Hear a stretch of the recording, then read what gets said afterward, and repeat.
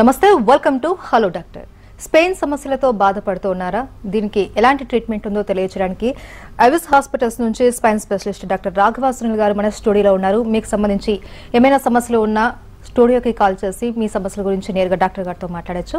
నమస్తే డాక్టర్ గారు. నమస్తే అండి. డాక్టర్ గారు బేసిక్గా ఈ మధ్య కాలంలో లంబార్ కెనాల్ స్టినోసిస్ అనేది ఎక్కువగా వినిపిస్తున్న సమస్య.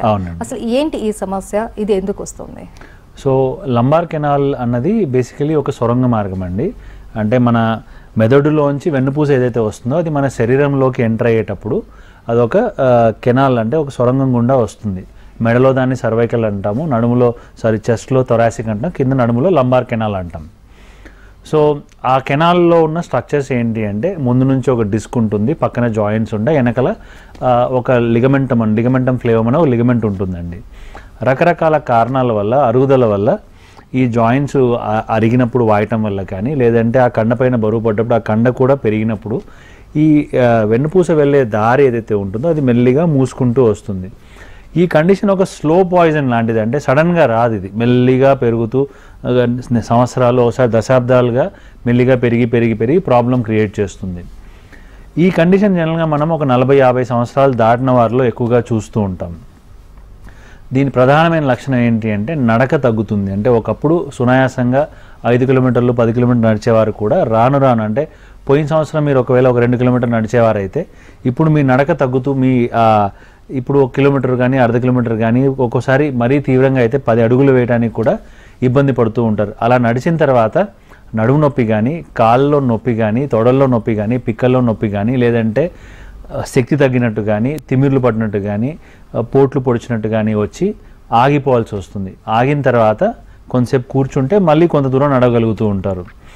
ఇంకొక లక్షణం ఏంటి అంటే పొద్దున్న నిధులు లేచినప్పుడు కొంతమందికి నడుము సహకరించదు. అంటే నడుములో మీరు అంత ఫ్రీగా కదలలేరు తిరగలేరు. అంటే మంచం మీద నుంచి లేచిన వెంటనే నడుము స్ట్రైట్ అవ్వడానికి కొంత టైం పడుతుంది. అంటే కొంత నడిచిన తర్వాత కొంచెం అలా ఇలా కదిలిన తర్వాత మళ్ళీ కొంచెం ఫ్రీ అయినట్టు ఉంటుంది. ఇంకొక లక్షణం నడుస్తూ ఉంటే ఇలా ముందు కొంగిపోతూ ఉంటారు కొంతమంది. అది కూడా లంబార్ కెనాల్ స్టినోసిస్ లక్షణమే. ఇలా ఇబ్బంది పెరిగే కొద్దీ ఇంకొంతమందిలో కాళ్ళలో శక్తి తగ్గినట్టయి కాళ్ళు వాడిపోయినట్టు అవ్వడం కానీ లేదంటే పాదం పడిపోవడం నడుస్తూ ఉంటే ఇలా పాదం ఇలా మూమెంట్ రాకుండా ఉండటం చెప్పు జారిపోవటం ఒకసారి పాదం కింద స్పర్శ మారిపోవటం అంటే ఏదో దూదిపై నడుస్తున్నట్టు కానీ లేదంటే కొంతమందికి ఏదో చెప్పులు ఏదో రాళ్ళు కుచ్చుకున్నట్టు ఉన్నాయండి అని కూడా అంటూ ఉంటారు.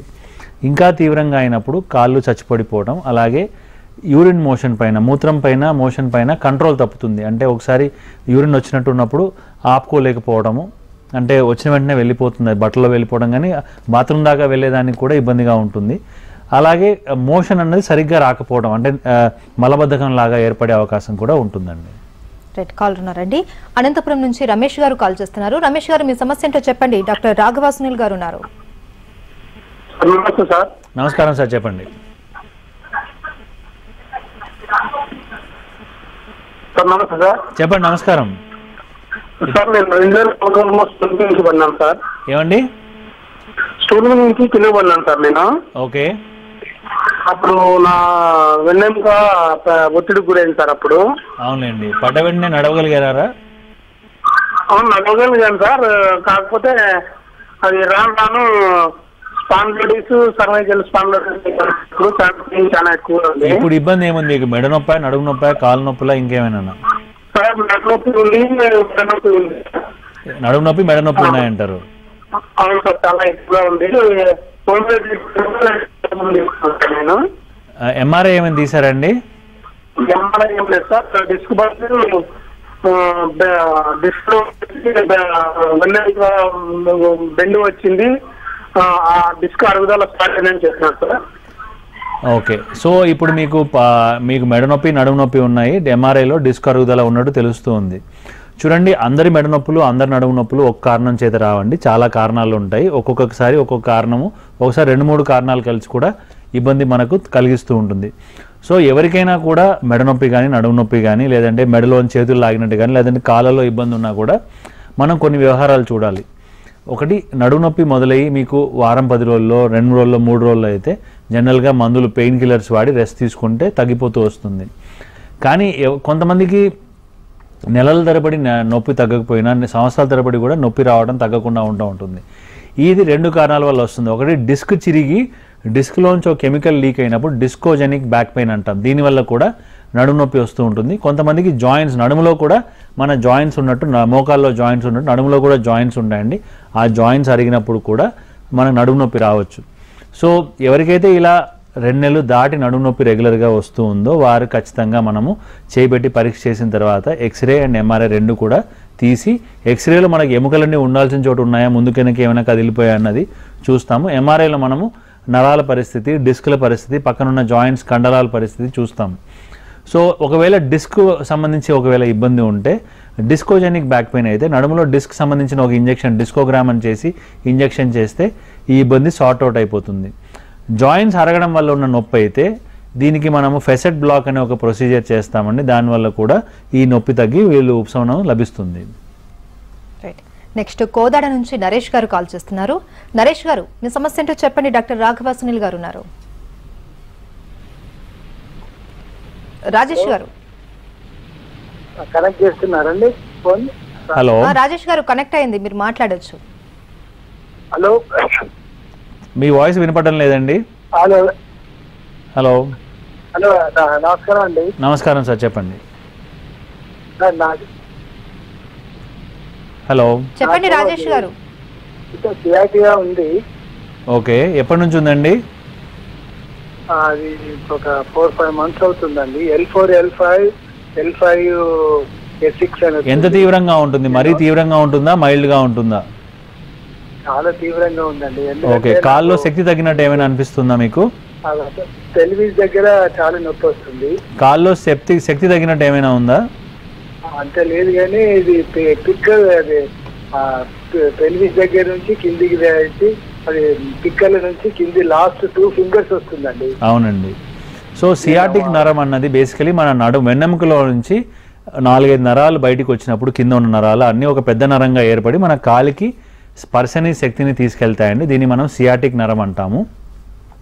సో ఈ నడుములోంచి ఈ అంటే లోవర్ బ్యాక్లో నుంచి వచ్చే నాలుగైదు నరాలు అందులో ఏ ఒకటి కానీ రెండు కానీ మూడు కానీ మొత్తంగా కానీ డిస్టర్బ్ అయినప్పుడు అంటే అది ఒత్తిడికి కానీ ఇరిటేషన్ కానీ గురైనప్పుడు మనకు దాని పర్యవసానం కాల్లో కనపడుతుంది. అంటే పాదానికి వెళ్ళే నరం డిస్టర్బ్ అయితే పాదంలో పిక్కలకు వెళ్ళే నరం డిస్టర్బ్ అయితే పిక్కల్లో తొడకు వెళ్ళే నరం డిస్టర్బ్ అయితే తొడలో ఇలా నొప్పి రావచ్చు. ఒకసారి మొత్తంగా కూడా పైనుంచి కింది వరకు కూడా నొప్పి రావచ్చు.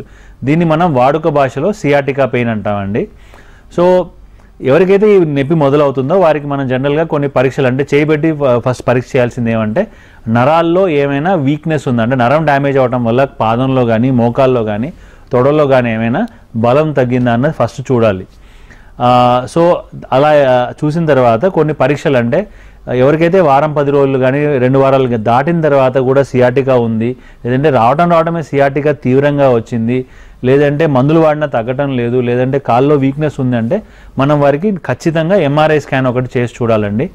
ఎంఆర్ఐలో మనం చూసేది ఏంటి అంటే నరం పైన ఎంత ఒత్తిడి ఉంది? అంటే ఒత్తిడి మరీ తీవ్రంగా ఉండి నరం డ్యామేజ్ అయ్యే పరిస్థితి ఏర్పడుతుందా? లేదంటే లైట్గా ఇరిటేషన్ మాత్రమే ఉందా అని చూస్తామండి. సో ఒకవేళ నరం పైన మరీ ఎక్కువ ఒత్తిడి లేదు కానీ మందులు వాడినా తగ్గడం లేదని తెలిస్తే అప్పుడు నడుములో రూట్ బ్లాక్ అనే ఒక ఇంజెక్షన్ చేయడం వల్ల ఈ కాలు నొప్పి తగ్గే అవకాశం ఉంటుంది.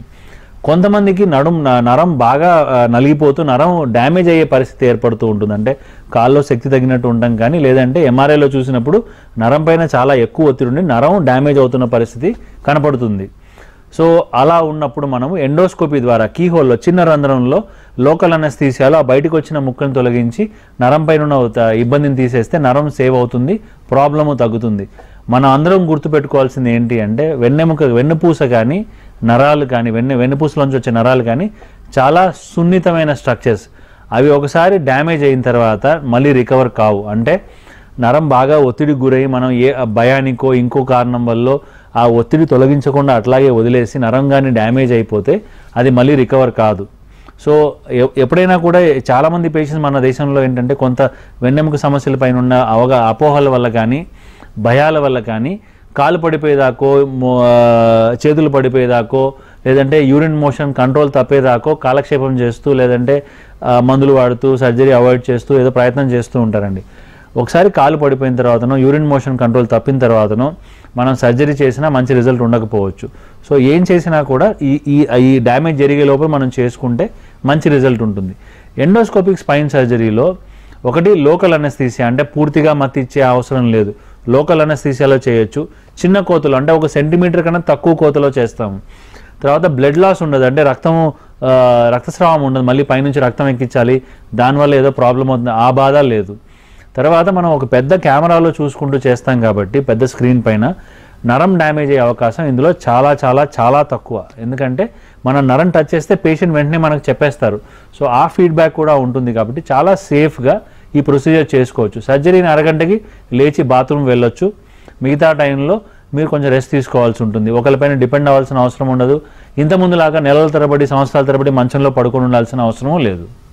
రైట్ నెక్స్ట్ ఖమ్మం నుండి శైలజ గారు కాల్ చేస్తున్నారు. శైలజ గారు డాక్టర్ గారితో మాట్లాడండి. Good evening sir. నమస్కారం అమ్మా చెప్పండి. మా sir surgery sir. L four L five అవునమ్మా ఎప్పుడైంది? త్రీ మంత్స్ అవుతుందండి. ఓకే.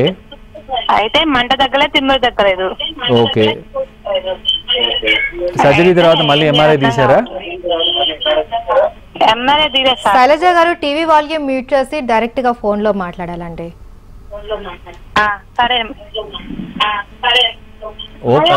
ఓపెన్ సర్జరీ జరిగిందా? లేకపోతే ఏం సర్జరీ జరిగిందమ్మా? ఓపెనే సార్? ఓకే. సో ఒకసారి ఎవరికైనా సర్జరీ సర్జరీ అయ్యే ముందు ఆయన కాల్లో వీక్నెస్ ఏమైనా ఉండిందా? ఆ, అయింది సార్. తిమ్మ పడి అదే నడవలేకపోయిండు. ఇప్పుడు నడుస్తున్నారా? ఇప్పుడు నడుస్తున్నారు. ఓకే. సో కాలు నడవలేనంత పరిస్థితి నుంచే ఆయన నడుస్తున్నారు కానీ కాళ్ళు తిమ్మిరిలో మంటలు తగ్గలేదు అంటున్నారు సో ఒత్తిడి తీసినప్పుడు మనము నేను కానీ ఇంకొకరు కానీ ఇంకెవరు చేసిన ప్రపంచంలో నరం పైన ఒత్తిడి తీయగలుగుతామే కానీ నరాన్ని మనం రిపేర్ చేయలేమండి. సో ఆ నరానికి రికవర్ అయ్యే టైం మనం ఇవ్వాలి. రికవర్ అవుతుందని కూడా ఖచ్చితంగా చెప్పలేము. మీకు ఖచ్చితంగా మీ డాక్టర్ గారు కూడా అదే మాట చెప్పే ఉంటారు. ఆల్రెడీ ఒకసారి నడవలేనంత పరిస్థితి అంటే కాలు పడిపోయేంత పరిస్థితి వచ్చిన తర్వాత వచ్చేదాకా మనం వెయిట్ చేయం వెయిట్ చేసి చూసినాం కాబట్టి నరం కొంత డ్యామేజ్ అయి ఉండే అవకాశం ఉంది. అలాంటప్పుడు మనకు ఆ తిమ్మిర్లు మంటలు కొంత ఎక్కువ కాలం ఉండే ఛాన్స్ ఉంటుంది. కానీ అలాగే ఈ ఎవరికైనా కూడా సర్జరీ అయిన తర్వాత కూడా ఇంకొంత సిమ్టమ్ ఉన్నా ఉన్నప్పుడు మనం ఒకసారి ఒక్కోసారి ఏం చేస్తామంటే అవసరం అనుకుంటే మళ్ళీ ఎంఆర్ఐ తీసి నరం పైన ఇంకేమైనా కొంత ఒత్తిడి మిగిలిపోయిందా అనేది మనం చూస్తామండి.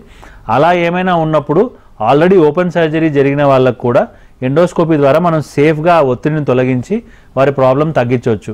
ఓపెన్ సర్జరీ ఒకసారి జరిగిన తర్వాత మళ్ళీ ఓపెన్ సర్జరీ చేయాలన్నప్పుడు కొన్ని కాంప్లికేషన్స్ అంటే కొంత రిస్క్ ఉండే అవకాశం ఉంటుందండి. ఎవరికైనా ఒకవేళ మన సర్జరీ అయిపోయిన తర్వాత నరం పైన ఇంకా ఒత్తిడి ఉందని మన ఎంఆర్ఐలో తేలితే పేషెంట్కి ఏమైనా ఇబ్బంది ఉంటే అలాంటి వారికి కూడా మనం సేఫ్గా ఎండోస్కోపీ చేసి ఆ నరాలపైన ఒత్తిడి తగ్గించి వాళ్ళ ప్రాబ్లం సాల్వ్ చేయొచ్చండి. ఓకే. ఎస్ డాక్టర్ గారు ఈ లంబార్ కెనాల్ స్టెనోసిస్కి మీ దగ్గర అవిస్లో ఉన్నటువంటి లేటెస్ట్ సర్జరీ ఏంటి? దాని ట్రీట్మెంట్ ఎలా ఉంటుందో చెప్తారా? So basically lumbar canal stenosis stenosis అంటే పూడిక. అంటే ఆ కెనాల్ అనేది మూసుకుపోతుంది. ఆ కెనాల్ని మనం ఓపెన్ చేస్తే మళ్ళీ నరాల కరెంట్ వచ్చి మన కాళ్ళు ఫ్రీ అవుతాయి అన్నమాట సో అది మన సర్జరీ లక్ష్యం. ఒకప్పుడు దీనికి ఓపెన్ సర్జరీ చేసేవాళ్ళం. అంటే ఓపెన్ చేసి దాన్ని మొత్తం అంతా ఓపెన్ చేసేసి స్క్రూస్ వేసి బిగించాల్సిన అవసరం వచ్చేది. ఓపెన్ సర్జరీ చేసినప్పుడు వారాలు కానీ నెలలు కానీ మంచాలలో పడుకోబెట్టి పేషెంట్ని కదలకుండా ఉంచాల్సిన అవసరం కూడా ఉండేది. ఇప్పుడు ఈ లంబార్ కెనాల్ స్టినోసిస్ కూడా మనము ఎలాగైతే డిస్క్ సర్జరీకి మనము కెమెరా వాడు స్కోప్ వాడుతున్నాం అలాగే నంబా కెనాల్ స్టినోసిస్ కూడా స్పెషలైజ్డ్ ఎక్విప్మెంట్ ఉన్నాయండి. ఎండోస్కోపీ ద్వారా చిన్న కోతలు అది కూడా రీజనల్ అనస్థీసియాలో చేయొచ్చు అనమాట జనరల్గా మనకు లంబార్ కెనాల్ స్టినోసిస్ ఒక వయసు అయిన వారికే వస్తుంది. అంటే ఒక యాభై అరవయో డెబ్బై ఎనభై తొంభై సంవత్సరాల వరకు. అంటే వయసు అయిన వారికి ఈ ప్రాబ్లం వచ్చే అవకాశం ఎక్కువగా ఉంటుంది. అంటే వారికి హార్ట్ ప్రాబ్లం కానీ బీపీ షుగర్లు కానీ ఇవన్నీ ఉండే ఛాన్స్ కూడా ఉంటుంది. ఇవన్నీ ప్రాబ్లమ్స్ ఉన్న వారికి కూడా రక్తం కొంత తక్కువ ఉన్న వారికి కూడా ఎండోస్కోపీ మనం చాలా సేఫ్గా చేయొచ్చు. చిన్న కోతలు అంటే ఒక సెంటీమీటర్ కన్నా తక్కువ కోతలో చేయొచ్చు. బ్లడ్ లాస్ ఉండదు. మళ్ళీ రక్తం పైనుంచి ఎక్కాల్సి ఎక్కించాల్సిన అవసరం ఉండదు. చేసిన రోజే నడిపిస్తాము. నెక్స్ట్ డే ఇంటికి పంపిస్తాము. నెలల తరబడి వారాల తరబడి మంచంలో పడుకుని కదలకుండా ఉండాలనే ప్రాబ్లము లేదు. రెండవది స్క్రూ స్క్రూస్ వేయాల్సిన అవసరం కూడా ఇందులో చాలా తగ్గుతుంది. ఎందుకంటే మనము కేవలం ఎక్కడైతే ఒక చిన్న రంధ్రం ద్వారా మనం వెళ్ళి టెక్నాలజీ వాడి మనం మిగతావన్నీ ఉన్న ఒత్తిడిని తొలగించేసి నరాన్ని ఫ్రీ చేస్తాం కాబట్టి ఇన్స్టెబిలిటీ అంటే మనం మన సర్జరీ ద్వారా ఎక్కువ నష్టాన్ని కలిగించాం. అంటే ఉన్న స్ట్రక్చర్ని డిస్టర్బ్ చేయం కాబట్టి స్క్రూ చేయాల్సిన అవసరం కూడా బాగా తగ్గుతుంది. అండ్ పేషెంట్ రికవరీ కూడా చాలా ఫాస్ట్గా ఉంటుంది. ఎందుకంటే ఆల్రెడీ ఉన్న స్ట్రక్చర్స్ అక్కడ ఉన్న ఎముకలు కండరాలు ఏవైతే నడుముకి సపోర్ట్గా ఉన్నాయో అవన్నీ మనం డిస్టర్బ్ చేయము తొలగించాం కాబట్టి ఫ్యూచర్లో ప్రాబ్లం వచ్చే అవకాశం కూడా ఈ ఎండోస్కోపీ ద్వారా బాగా తగ్గిపోతుందండి. రైట్ కాల్ ఉన్నారండి. మహబూబ్ నగర్ నుంచి పద్మ గారు కాల్ చేస్తున్నారు. పద్మ గారు మీ సమస్య ఏంటో చెప్పండి. డాక్టర్ రాఘవ సునీల్ గారు ఉన్నారు. ఆ, నమస్తే డాక్టర్. నమస్కారం అమ్మా చెప్పండి. అది మా నాన్నగారు టూ థౌజండ్ ఫైవ్లో సైకిల్ మీద వెళ్ళినప్పుడు బ్యాక్ సైడ్ పడ్డాడండి. ఓకే. అయితే అప్పుడు హాస్పిటల్ ఇక్కడ మహబూబాద్ డిస్ట్రిక్ట్లో విజయకాంత్ అని బోన్ స్పెషలిస్ట్ చూపించాము. ఓకే. అప్పుడు బాగానే ఉన్నాడు. ఇంకా ఏజ్ సిక్స్టీ ఉంటుంది సార్ మా నాన్నకు. ఇప్పుడు ఇబ్బంది ఏముందమ్మా? ఇబ్బంది అంటే ఇప్పుడు నడుము కొద్దిగా మన ఇప్పుడు ఫార్మర్ మా నాన్నగారు. ఏమండి? ఫార్మర్ ఫార్మర్ అన్నట్టు ఓకే. అయితే ఇప్పుడు వంగి కొద్దిగా ఎక్కువ పని చేయటం వల్ల నడుము నొప్పి వస్తుంది అంటున్నారు సార్. అంటే సార్కి చూపించారు టూ మంత్స్ బ్యాక్ ఓకే ఈ మధ్య కాలంలో ఎక్స్రే కానీ ఎంఆర్ఐ కానీ ఏమైనా చేశారమ్మా? ఎక్స్రే చేశారు సార్. మళ్ళీ వన్ మంత్ టాబ్లెట్ ఇచ్చారు సార్ గారు. ఓకే. అయితే కొద్దిగా బెటర్గా ఉంది అని చెప్పారు. ఇంకోసారి అది సిక్స్ థౌసండ్ స్కానింగ్ తీసుకెళ్ళినాక మీకు తెలుస్తుంది మొత్తము. అది నరము ఒట్టుకుపోయినట్టు ఉంది అని చెప్పిందంట అవునమ్మా. ఇప్పుడు బేసికలీ ఆయనకు మనము ఆయన ఒకసారి పరీక్ష చేసి చూసిన తర్వాత ఖచ్చితంగా ఎంఆర్ఐ తీయాలి. ఎందుకంటే ఈ ప్రాబ్లం ఎప్పటి నుంచో ఉంది. ఇట్లా నెలల తరబడి మందులు వాడుతూనే ఉన్నాం. అది మంచిది కాదు. ఎందుకంటే దానివల్ల కిడ్నీల పైన లివర్ల పైన సైడ్ ఎఫెక్ట్స్ వచ్చే అవకాశం ఉంటుందండి. ఖచ్చితంగా మనము ఆయనకు ఒక స్కాన్ చేసి చూడాలి. చూసి ఈ నొప్పి దేని వల్ల వస్తుంది? అరగడం వలన లేదా డిస్క్ జరగడం వలన ఇంకేమైనా ఇన్స్టెబిలిటీ ఉంటుందండి. కొంతమందికి ఎముకలు జారిపోయి ఉంటాయి. సో ఏ ఈ ప్రాబ్లం దేని వల్ల ఉందని ఫస్ట్ మనం నిర్ధారించాలి. ఏ కష్టమైనా ఎవరికైనా మెడికల్ విషయంగా కానీ ఇంకో విషయంగా కానీ ఇబ్బ ఇబ్బంది ఉందంటే కారణం కనుక్కోవాలి. అంటే మనము నొప్పిని కాదు ట్రీట్ చేయాల్సింది కారణాన్ని. మనం కారణం ట్రీట్ చేస్తే ఇది సమూలంగా తగ్గుతుంది. నొప్పి ఉంది కాబట్టి నొప్పుల బిల్లలు తిమిరు ఉంది కాబట్టి తిమిరు బిల్లలు ఇట్లా తినుకుంటూ పోయామనుకోండి ఒకటి ఉన్న ప్రాబ్లం తగ్గదు పెరుగుతూ ఉంటుంది. మందులకు సైడ్ ఎఫెక్ట్స్ వస్తాయి. అంటే కిడ్నీలో లివర్లో ఇంకోటో డ్యామేజ్ అయిపోయి ఇంకా ఇంకా పెద్ద సీరియస్ ప్రాబ్లమ్స్ అవుతాయి. కాబట్టి ఎవరికైతే నెల నెలన్నర నెల దాటిన తర్వాత కూడా నొప్పి తగ్గకుండా ఉందో వారు ఖచ్చితంగా స్కాన్ తీయించుకొని చూడాలి. ఎంఆర్ఐలో మనకు లోపల ఏముందనేది అర్థమవుతుంది. దాని తర్వాత దాన్ని ఆ కారణాన్ని మనం ట్రీట్ చేయగలిగితే ప్రాబ్లం కంప్లీట్గా హీల్ అవుతుందండి. నెక్స్ట్ రామలింగారెడ్డి గారు కాల్ చేస్తున్నారు. రామలింగారెడ్డి గారు మీ సమస్య ఏంటో చెప్పండి. డాక్టర్ గారు ఉన్నారు. నమస్కారం మేడం గారు. నమస్కారం అండి. చెప్పండి. సార్. చెప్పండి సార్. మా మిసెస్ మా మిసెస్కి కాలు పిడికాలు మామూలుగా ఇక్కడ గడ్డల్లో నుంచి ఈ కింద దాకా నొప్పి అంటుంది సార్. కాలు నొప్పి నొప్పి అంటుంది ఓకే. అది ఎందుకని ఏంది అర్థం కావట్లేదు మాకు. ఎప్పుడైనా కూడా కాలు పైనుంచి కింది వరకు నొప్పి ఉంది అంటే జనరల్గా సియాటికా ప్రాబ్లం ఉండే అవకాశమే ఉంటుందండి. అంటే నడుములో నరం నలిగినప్పుడు నడుములో నుంచి కాల్లోకి ఏదైతే కరెంట్ రావాలో అది షాక్ కొట్టినట్టు రావడం వల్ల కానీ లేదంటే ఇరిటేషన్ వల్ల కానీ ఈ పెయిన్ ఉంటుంది. ఇది సియాటికా పెయిన్ అంటామండి. ఇలా పెయిన్ చాలా కాలం నుంచి ఉందంటే మనం ఖచ్చితంగా నడుముది ఒకసారి ఎంఆర్ఐ స్కాన్ తీసి అంటే పేషెంట్ని పరీక్ష చేసి చూసిన తర్వాత అవసరం అనుకుంటే ఎంఆర్ఐ స్కాన్ ఒకటి తీసి చూడాల్సి ఉంటుంది. ఒక్కొక్కసారి ఎంఆర్ఐలో కూడా మనకు నడుములో నరం నలిగినట్టు కనపడకపోవచ్చు. ఎందుకంటే చిన్న చిన్న ఒత్తిడులు కానీ చిన్న రంధ్రం అంటే డిస్క్ కొంచెం చిన్నగా చిరిగి లీక్ అవుతున్నా కూడా కొంతమందికి ఈ పెయిన్ వచ్చే అవకాశం ఉంటుందండి. అలాంటప్పుడు ఈ- ఈ దేంట్లోనూ మనకు తెలియకపోతే అప్పుడు హార్ట్కి యాంజియోగ్రామ్ చేసినట్టు నడుము కూడా డిస్కోగ్రామ్ అనే ఒక పరీక్ష చేస్తాము. ఆ పరీక్ష చేసి అందులో మనకు ప్రాబ్లం కనపడితే అదే టైంలో మనం మందు వేసేస్తే ఆ ప్రాబ్లం కూడా సాల్వ్ అయిపోతుంది. అలాగే నడుము కాలంతా నొప్పి రావడానికి ఇంకొక కారణం ఏంటి అంటే వ్యారికోస్ వీన్స్ చెడు రక్తం అనేది కాల్లో అలాగే ఉండిపోయినప్పుడు కూడా కొంతమందికి కాల్లో బరువు ఎక్కినట్టు కాళ్ళు లాగినట్టు కాళ్ళు పీకినట్టు ఇబ్బంది ఉండే అవకాశం ఉంటుందండి. సో వ్యారికోస్ వీన్స్ అండ్ స్పైన్లో రెండింటిలో కూడా సిమ్టమ్స్ ఒక్కోసారి కలుస్తూ ఉంటాయి కాబట్టి అవిస్ హాస్పిటల్ ఇప్పుడు మనము నడుము సంబంధించిన ప్రాబ్లమ్స్ తర్వాత సిరలు సంబంధించిన ప్రాబ్లమ్స్ రెండు కూడా కలిపి చూస్తున్నాం. కాబట్టి ఎవరికైనా ఏ పేషెంట్కైనా కాళ్ళలో ఇబ్బంది ఉందనుకోండి అంటే కాళ్ళు లాగుతున్నాయి కాళ్ళలో పీకటం లాగటం ఉంది కాళ్ళలో తిమ్మిర్లు వస్తున్నాయి కాళ్ళ మంటలు వస్తున్నాయి లేదంటే కాళ్ళలో కొంతమందికి నల్ల మచ్చలు పడుతున్నాయి కాళ్ళు పుండ్లు పడుతున్నాయి అన్నప్పుడు మన దగ్గర రాగలిగితే వారికి ఏ కారణం చేత వస్తుంది? అంటే ఇది స్పైనల్ ప్రాబ్లం వల్ల వస్తుందా లేదంటే వీనస్ ప్రాబ్లం వల్ల వస్తుందా అన్నది మనం చూసి ఖచ్చితంగా దాన్ని నిర్ధారించి దానికి సంబంధించిన బెస్ట్ ట్రీట్మెంట్ చేసే అవకాశం ఉంటుందండి. రైట్ నెక్స్ట్ కృష్ణా జిల్లా నుంచి మౌనిక గారు కాల్ చేస్తున్నారు. మౌనిక గారు డాక్టర్ గారితో మాట్లాడండి. నమస్తే సార్. నమస్కారం అమ్మా చెప్పండి. మా అమ్మగారికి నడు నొప్పి వస్తుందండి. ఎప్పటి నుంచి ఉందమ్మా? చాలా నిలమట్టి సార్. ఇప్పటిదాకా ఏమైనా పరీక్షలు చేయించారా? చేయించం. మందులు వాడుతున్నా తగ్గట్లేదు సార్. ఎంఆర్ఐ చేయించారమ్మా? లేదు సార్. ఓకే.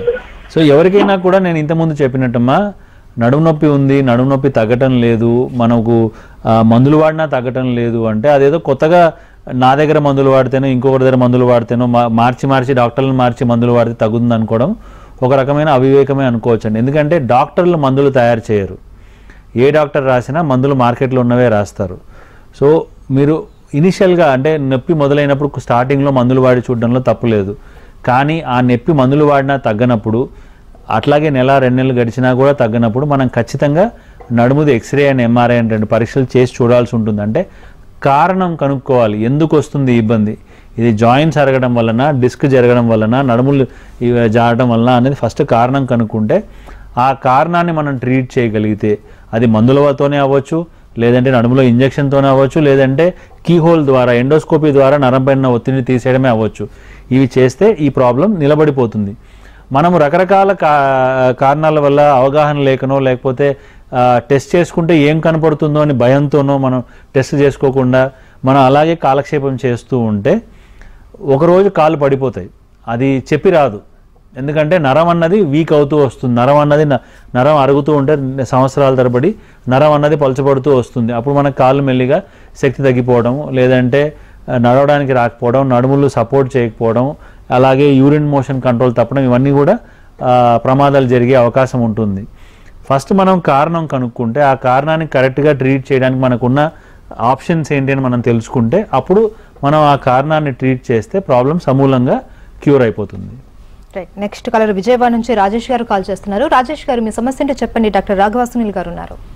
ఆ, మేడం గారు మరి నాకు టూ ఇయర్స్ బ్యాక్ యాక్సిడెంట్ అయింది మేడం ఒకసారి నాకు.